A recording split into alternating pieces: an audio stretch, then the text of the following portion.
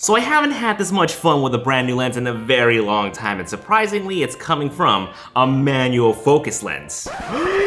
no, he didn't just say that. And not just any manual focus lens, but a compact 500mm one. This is the Tokina SZ Super Tele 500mm f8 reflex lens, and the shining jewel of this is that it's compact, light, and most importantly, affordable coming in at just 310 grams and $400 with the lens adapter to play with my Sony camera. The catch? Well, it's a manual focus only lens. There's no lens stabilization. In fact, there are no electronic contacts whatsoever, so it can't even transmit metadata.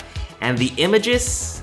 Well, they're soft. So why am I still so hyped for this lens? No, they're not paying me. No, they're not sponsoring this video. I actually found out about this lens from SonyAlphaRumors.com and I immediately contacted Tokina to get an early hands-on on this. So this is actually a review loaner unit, so this is gonna go back to them by the end of this. But I love the concept of this lens so much. So I travel a lot. You guys know I'm doing this whole nomadic thing right now, and I've always been so curious, what kind of shots can I get with a super long telephoto lens? But I've always been so hesitant getting something like a 100 to 400, 2 to 600, just because they're so darn big. Sure, the quality is gonna be better. It has autofocus, it has lens stabilization, it's faster than f8, but it's just not worth carrying around just for funsies. So a Tokina 500 is a terrific compromise. I can just throw this into my bag and pull it out if and whenever I need it. And the funny thing was, I was asked this question in Sidney Diongzon's Q&A video. What is the gear that I want but I don't have right now? I guess for me it'd be like two to 600. And this happened a couple weeks before I saw the article on Sony Alpha Rumor, so I'm very happy that the stars somehow aligned and led me to this lens.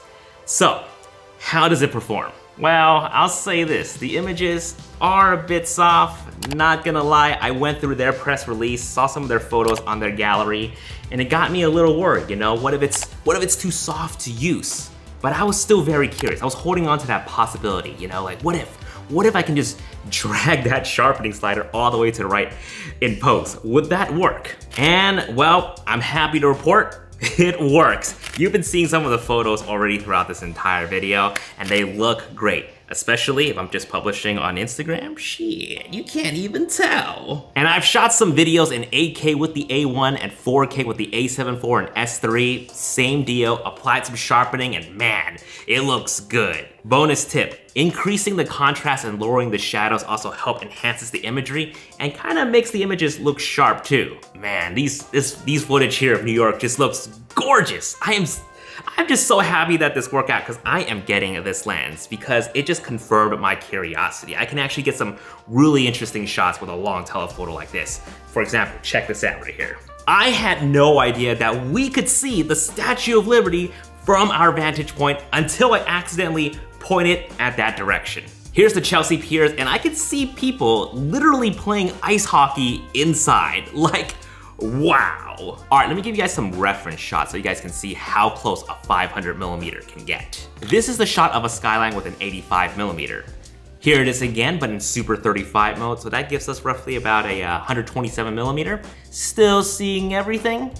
And bam, here's the 500 millimeter, literally just getting, well, barely getting in the Freedom Tower. So that's pretty darn close. This is the wide shot of the edge with my 40 millimeter, and here it is with the 500. And if I point up to the tippy top, we can see the people who are doing the city climb skyscraping attraction that they offer over at the Hudson Yards.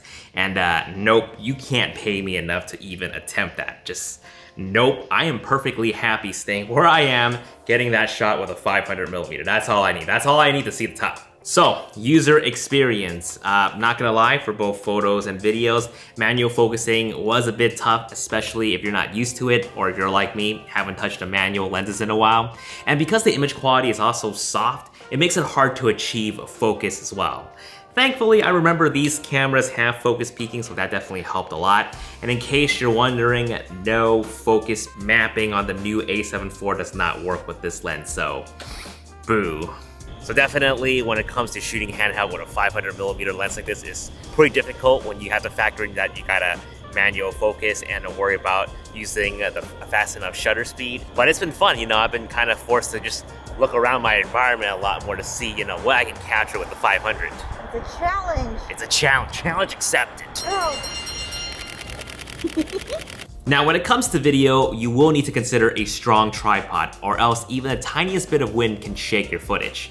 That'd probably be the only biggest thing I would watch out for if you're using this lens for video. Now speaking of shake, obviously the full frame Sony cameras have built-in in-body stabilization, so you can actually set, manually set the focal length stabilization in camera, so I just set it to 500. And that's gonna allow you to shoot at a slower shutter speed, something under 1 over 500, and still get a pretty decent shot. Now, because it's f8, obviously, you gotta do your due diligence of keeping your sensor and glass clean, Otherwise, you'll have unwanted dirt in your photo and video. I'm gonna put some dirt in your eye. Another thing to note is the donut-shaped bokeh. Mmm, donut. Because there's this giant center dot in the center, it does make things like bokeh and shooting into the sun looking a bit weird. Personally, I'm not a fan of the donut-shaped bokeh, but for the size and for the price, I'm willing to overlook it. And because of how this lens is built, we don't have to worry about chromatic aberration. In fact, there aren't many optical glass elements inside of this lens, just a few mirrors. That's how it is so light. Now, you might be asking, well, Jason, why not just get an APS-C zoom lens with a 300mm focal length in it? Wouldn't that give you like a 500mm full frame equivalent look? And to that I say, you're damn right. You are on the ball with that. So I want to play the devil's advocate here, right? Sure, you can get an APS-C zoom lens with a 300 millimeter focal length in it, right? There's one for the APS-C 75 to 350, and that's going to give you roughly a 525 uh, full frame equivalent look. And the plus side is that it offers you autofocusing capability and image stabilization, but the trade-off is it's gonna be a bit more expensive and slightly heavier, which in the realms of APS-C isn't a bad thing. But depending on which camera you use, the megapixel drop might be significant. If you're shooting with the A1, A7 IV, A7R, might not be a big deal to use a crop lens like the 70 to 350, but if you're planning on doing 8K on the A1, you can't do 8K in crop mode, and you sure as hell cannot do 4K 120 in crop mode on the A1 and the A7S III. That'd be the only thing. If you're just going for photos and you don't mind the megapixel drop, and you're willing to spend the extra dough for the autofocusing capability, the lens stabilization, and all that jazz, might be worth getting that APS-C lens instead. So, what's my ultimate verdict on the Tokina 500? I love it. I know this lens isn't gonna be for everyone, but if you're in the market for a portable 500 millimeter, this is gonna be great for any of the Sony cameras. And to answer my APS-C users, will this be good for something like an A6000 or a ZV-E10? I mean, sure, it can be, but if you take that crop factor into consideration, this lens will become like a 750 millimeter, which might be a little too tight. But in my experience, this lens will be perfect for the a7S III just because the lower megapixel count actually helps make the footage and the photos look a wee bit more sharper. And the high ISO performance of that camera allows you to use this lens at night especially with this having an f8 aperture, you don't have to worry too much about noise. And if you have the A1 like me, you can actually shoot an 8K, throw it into a 4K timeline, and that downsampling would just help make the footage look a little bit more crisp. So yeah, definitely adding this lens to my arsenal. Let me know in the comments down below what you think of the photos and the footage that came out of this lens and if you would consider something like this. As always, if you enjoy my video, be sure to like, comment, and subscribe. And if you want to go the extra mile to support my channel, just stick around and listen to what my sponsor Squarespace has to say. Vivian and I always strive to bring you guys the best and most unique image and video samples whenever we talk about cameras and lenses. And oftentimes we have high production costs to make this all happen. It's sponsors like Squarespace that help funds our production budget so we can keep bringing you guys more high quality samples. So the best way to support us and to help us continue to do what we do is to simply check out how Squarespace can help you link down below. Squarespace is an all-in-one platform to create beautiful websites. No coding knowledge whatsoever. Perfect for people like me because I just want to make YouTube videos for you guys and not have to worry about coding my entire website. Simply just select one of their templates to get started.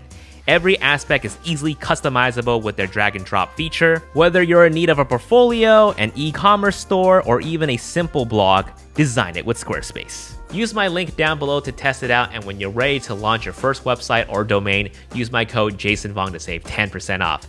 Guys, thank you so much for watching. I'll see you guys in the next video. Peace!